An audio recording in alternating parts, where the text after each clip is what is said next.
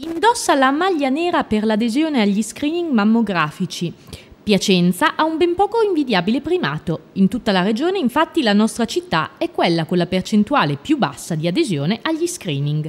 La conferma è arrivata da un convegno dedicato alla prevenzione e alla diagnosi precoce. La percentuale è intorno al 67,6%, siamo leggermente al di sotto del 70% che eh, la Regione considera eh, un limite eh, adeguato, accettabile per, come adesione allo screening. Dobbiamo migliorare in questo, dobbiamo, nel, dobbiamo aiutare le donne di Piacenza ad aderire appunto ai programmi di screening perché lo screening è l'arma più potente che loro hanno a disposizione per la diagnosi precoce. La diagnosi precoce significa aumentare in maniera considerevole le loro possibilità di guarigione, di avere, eh, di, essere, di avere terapie le più limitate possibili più piccolo è il tumore che noi andiamo a diagnosticare, più la fase è precoce, più alte sono le percentuali di guarigione, le possibilità di guarigione che già sono comunque molto alte. Sotto i riflettori oggi finisce anche la prevenzione, una prevenzione che eh, può essere fatta attraverso gli screening ma anche attraverso una serie di altri comportamenti che appunto oggi vengono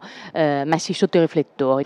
Ma la prevenzione non si, non si esercita soltanto attraverso eh, appunto lo screening mammografico o l'autopalpazione o comunque diciamo, presidi di tipo medico, ma ogni persona ha in se stesso la possibilità, diciamo, nell'ambito del proprio ambito domestico, di eh, esercitare delle forme di prevenzione. La prevenzione si esercita anche con gli stili di vita.